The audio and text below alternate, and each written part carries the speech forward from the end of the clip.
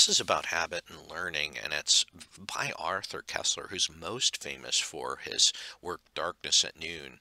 And um, it, it's from his classic work, The Ghost in the Machine. And it really, you know, in, in a kind of you know, mass communication technological sense. I mean, the idea about habit and learning is you just get good at what you do, right? Ha habits freeze you. They kind of reify and solidify your your skills and um, you know whether that's you know on playing Grand Theft Auto or Clash of Clans or whether that's flying an airplane or that's playing the piano, right? We like like like habits in a way uh, circumscribe possibilities and, and, and indeed have a, a very limiting effect. What happens when a skill is practiced in the same unvarying conditions? Koestler says if a skill is practiced in the same unvarying conditions, following the same unvarying course, it tends to degenerate into stereotyped routine, and its degrees of freedom freeze up. Monotony accelerates, enslavements to habit. It makes the rigor mortis of mechanization spread upward in the hierarchy. And, and so, I mean, that's the kind of, uh, uh, the, like the dual-edged Janus faced aspect of habit, right? I mean, what we do, we get good at, but it prevents us from getting good at other stuff. It becomes a kind of unvarying, degenerated, stereotyped routine. What does he mean by a crisis? However, the challenge of the environment can exceed a critical limit where it can no longer be met by skilled routine, however flexible, because the customary rules of the game are no longer adequate to cope with the situation. Then a crisis arises. It's very interesting to kind of talk about this pandemic as a sort of crisis because our skilled routine you know, even though it's pretty flexible, right? I mean, we have these amazing medical facilities and a lot of technology and highly skilled doctors. However, uh, we were not so flexible that um, what you know we we we we could avoid this crisis of having many people die right? It because we hadn't anticipated it before. I mean, I think in the future we'll be much better with these things, but certainly a crisis is when uh, the challenge of the environment can exceed a critical limit where it can no longer be met by the ordinary habitual skilled routine of the organism. What is the principal cause of stagnation and extinction?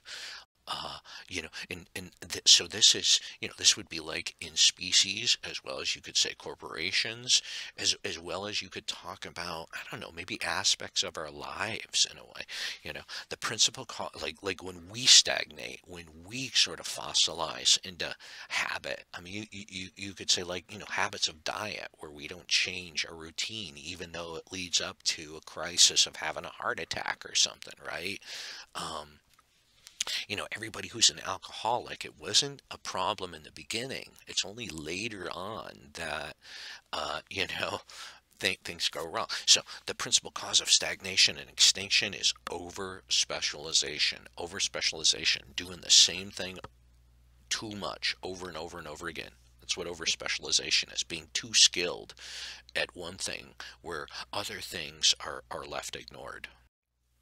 What are the two outcomes with respect to a major crisis? Uh, this is what Koestler says. He says, however, the challenge may exceed a critical limit so that it can no longer be met by the organism's customary skills. In such a major crisis, and both biological evolution and human history are punctuated by such crises, one of the two possibilities may occur. The first is degenerative, right? That's the first, leading to stagnation, biological senescence, or decay, right? That's what senescence is, or sudden extinction, as the case may be. The alternative possibility of reacting to a critical challenge is regenerative in a broad sense. It involves major reorganizations of structure and behavior which result in biological or mental progress. So those are the two outcomes with respect to a major crisis. And let me give you an example, right? So degenerative on the one hand, regenerative on the other. So a guy is in his 50s and uh, say like 52, like, and he gets laid off.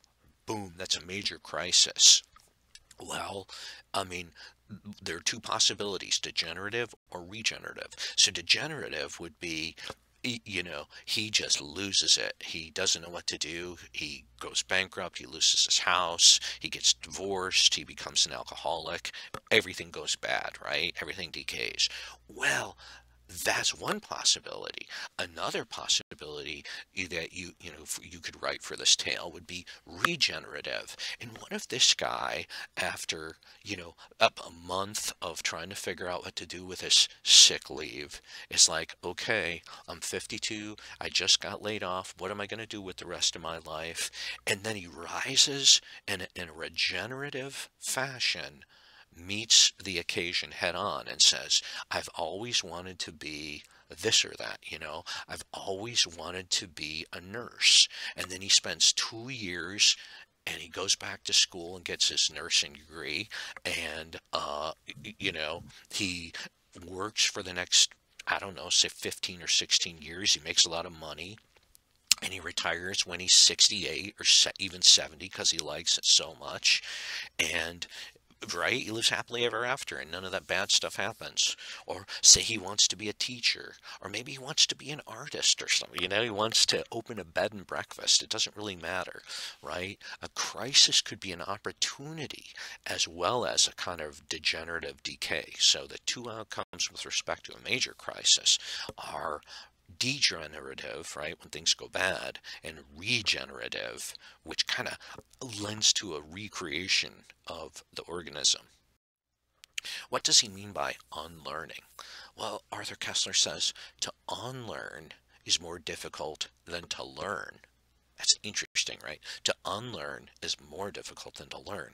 And it seems that the task of breaking up rigid cognitive structures and reassembling them into a new synthesis cannot, as a rule, be performed in the full daylight of the conscious rational mind.